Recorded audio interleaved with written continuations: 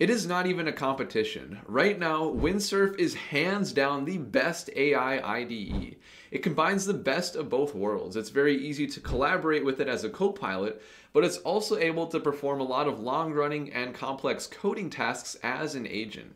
And because of that, I have a confession to make. I am completely addicted to using the platform, and in this video, I'll show you how I've learned to use it to get some insane results. Everyone and their mother has been asking me where my windsurf video is, and I've been saving it till now so that I can have something really, really practical to share with you from my experiences after using windsurf along with oTToDev for over 50 hours already.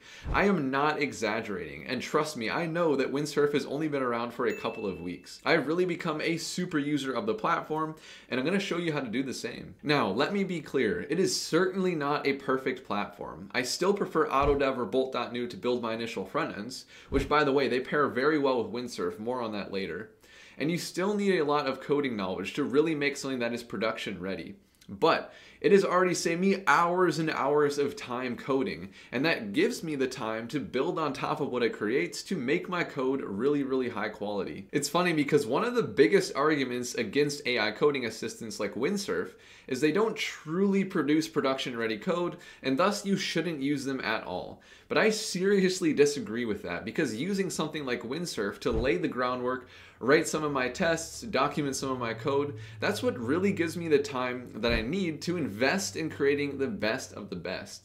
So with that being said, let's dive into how to get the most out of Windsurf, overcome some of its shortcomings, and really just build your projects and make them come to life as fast as possible. So Codeium, the creators of Windsurf, have done a very good job marketing the platform and really framing what makes it revolutionary. And it can all be summed up in this one big bolded sentence at the top of the Windsurf homepage that says it is built to keep you in flow state. And essentially what that means is you want a cohesive experience with the agent as you're using it to code. So it doesn't feel like there are two very separate processes where you're writing your code somewhere and then when you need help, you go to the agent and then you have to go back to your code. You want it to all feel like a single experience so you can remain in that very focused flow state that is, you know, what developers really seek after for productivity. And Windsurf really does that well.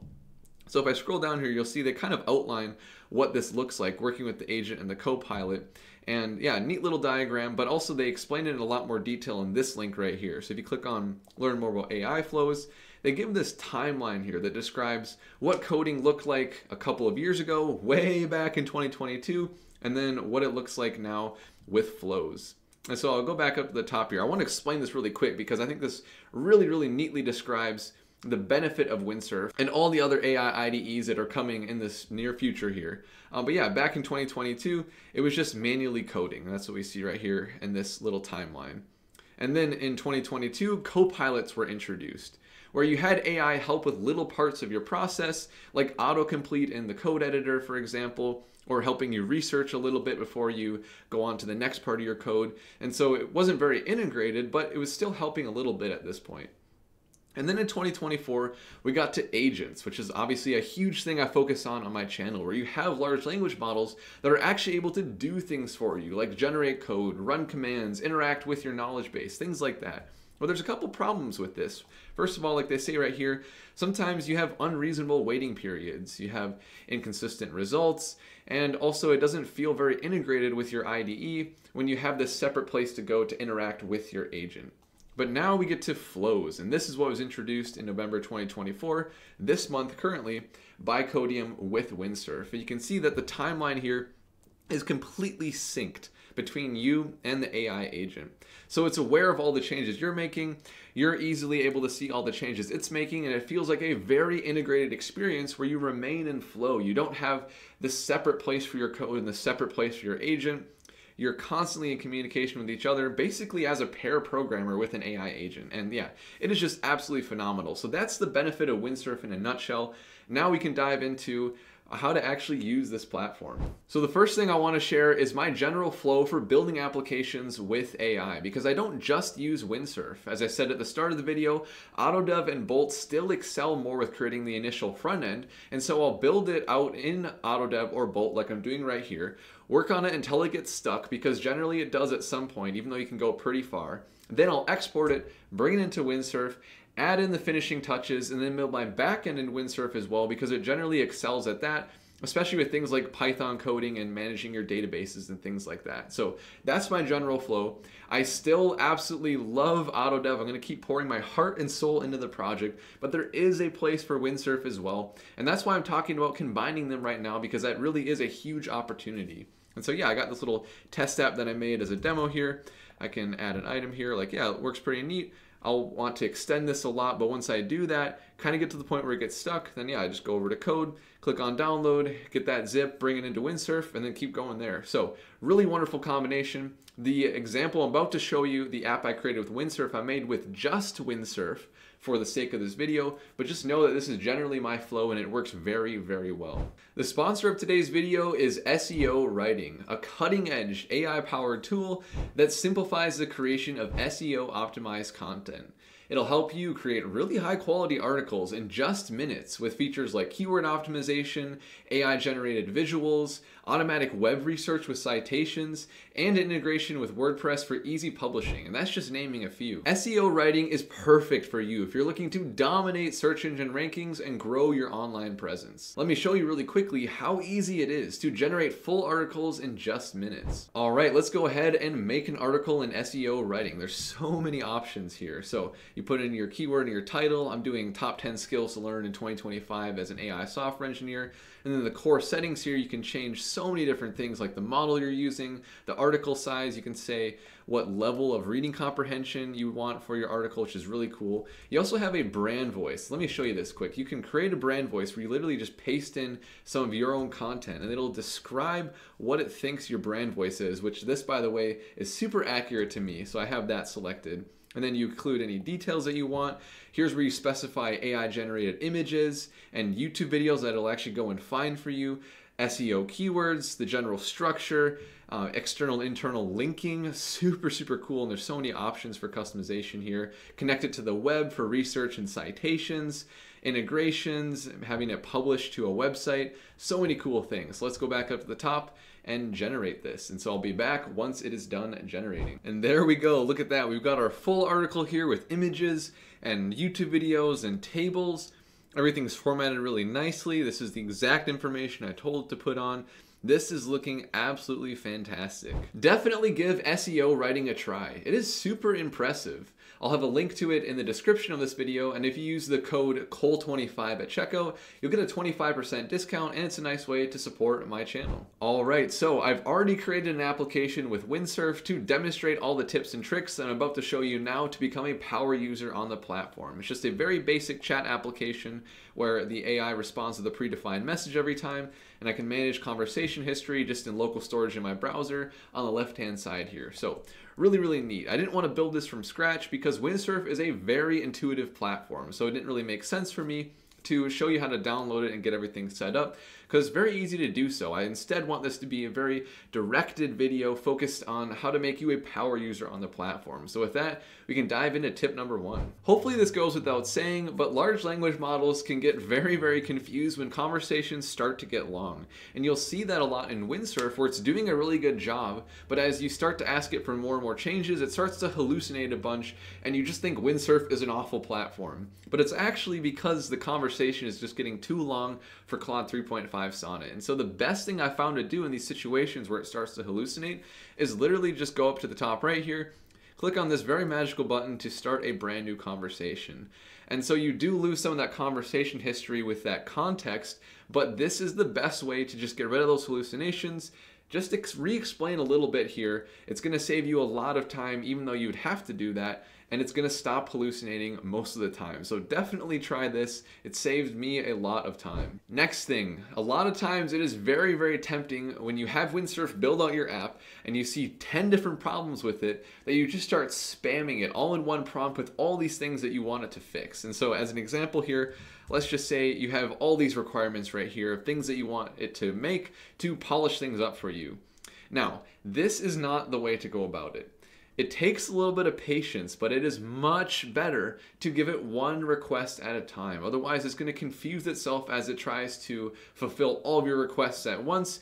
Even though it's an agent running behind the scenes with chain of thought, it still messes up when you have a lot of requirements. And so if you take all this and merge it down into just one thing. Start with that have it implement it, make sure it corrects itself if it messes anything up, and then move on to the next thing, you're gonna get much better results. And that little bit of patience really pays off in the long run and ends up making the whole thing take less time. One of my favorite features in Windsurf is before it makes any changes, it asks you if you want to reject all or accept all, and you can go within the specific files and accept or reject specific changes.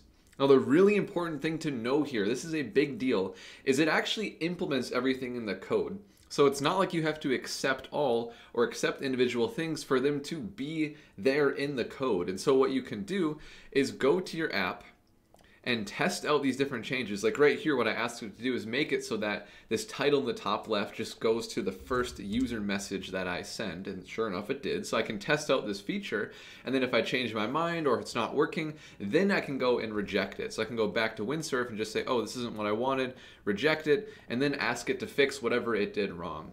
And so you don't have to accept, then test it, then manually revert if it doesn't work. It's all is handled within the reject button right there. Really, really nice. Along the same lines, it is really important to take advantage of the fact that you can accept or reject specific changes that it makes across different files. The reason this is useful is a lot of times you ask it to do a couple of things. And like I said, you don't want it to have it do too much at once, but if you have it do a couple of things, sometimes it'll get everything right except one thing. And so maybe you want to just reject that one thing before then clicking on accept all. And so within a file right here, let's say for example, I don't like the loading indicator that it added. I can reject this and then go down and reject this change. But then I asked it to do another thing where it adds the title to the conversations, and I want that. So then I can click accept, and then boom, now it's done. I've accepted and rejected everything, so my accept all and reject all buttons also went away. But that way I got to decide what I brought in, and the agent knows what I rejected and accepted. So I can ask it to correct the things that I rejected and it'll know what to do going forward. Another really neat feature within Windsurf is you can call out specific files or functions to the agent so that it knows exactly what you're referring to when you want it to go and edit something specific or look at something specific. And the way that you do that is just with the at right here. So I can say at, and then for example, if I want to reference my hook right here, use conversations, I can say use conversations, and then it pops up all these suggestions for me the two top ones being the file itself and then the use conversations hook definition actually within the file so this right here so I can reference the file or the hook itself click on one of these and then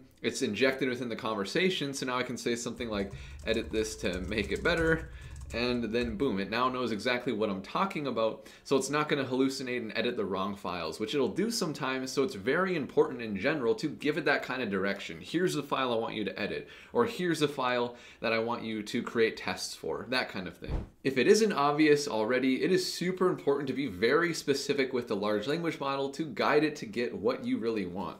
And that really applies to using AI in any way, but especially in Windsurf, just because of how much is really happening under the hood, that direction is crucial to get the output you are looking for. And a lot of my other tips have talked about really being specific. But another area that is really, really important is right off the bat, starting the creation of your application, you want to define your tech stack and be very specific about the programming languages and technologies that you want to use to build what you're trying to build. And so I have an example here of a terrible prompt. Build me an API endpoint to manage users in my database.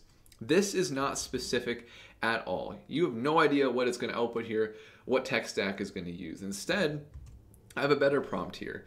I'm telling it to use FastAPI and Python for the API endpoint. I'm telling it specifically what I want the API endpoint to do to change a user's email. In Postgres, hosted with Supabase, being specific about the database and even being specific about the schema here. It's important to give it all these details, otherwise it's not really a co-pilot, it's just kind of doing its own thing because you barely told it what you want. So very important to be specific, especially at the start. All right, the next tip that has saved me a ton of time and solved a lot of problems is actually to go and use O1 when Windsurf is having trouble with Claude 3.5 Sonnet. Because Claude 3.5 Sonnet is fantastic, but I actually think O1 is slightly better at coding. It solves some problems that I can't with Sonnet. And so sometimes when I hit a snag in Windsurf and I really can't seem to figure something out, I'll go over to O1 and I'll even show you my kind of prompt template here. I'll go over to O1, paste in my code, just say like, here's my code. I'm trying to do X, Y, Z, but I'm getting this error and I'll paste in the error or whatever the issue is within Windsurf. I'll get the fix for it from O1. A lot of times it does better. I'll go back into my code and correct it. And then because we have this flow state where the agent in Windsurf knows all the changes I'm making, I can then just continue right where I left off with those fixes with Windsurf and it saves so much time. So the best way to make general broad stroke changes to your code base is obviously with the conversation window on the right hand side that we've been using so far.